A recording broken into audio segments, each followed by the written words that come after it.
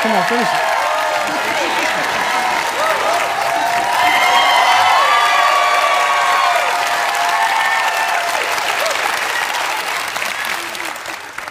What are, what are you doing?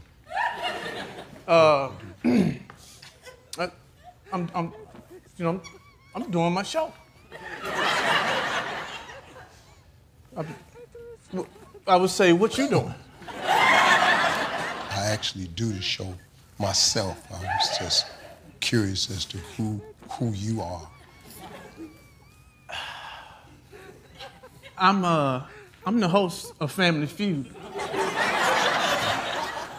I was gonna ask you the same thing. We could do it together. You know, you take, you go on 10 minutes, I take, I give you a break. I don't I don't I don't need Everybody's I helping don't- everybody. I don't really need no help. Your head look funny.